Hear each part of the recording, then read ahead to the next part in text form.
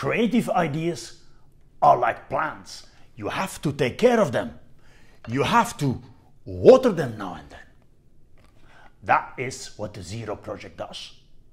If you're one of the Zero awardees, you will have free access to one of the EASPD conferences. The coming year, we organize a conference on training of staff, one on employment of persons with a disability, and one on education of persons with support needs. If you want to join us, that is possible.